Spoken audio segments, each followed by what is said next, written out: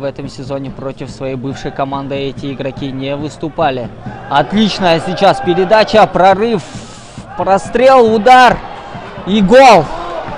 Сразу на первой же минуте Джорджа Деспотович открыл счет в первой минуте матча. На второй минуте матча Георгий Джорджа Деспотович открыл счет в этом матче.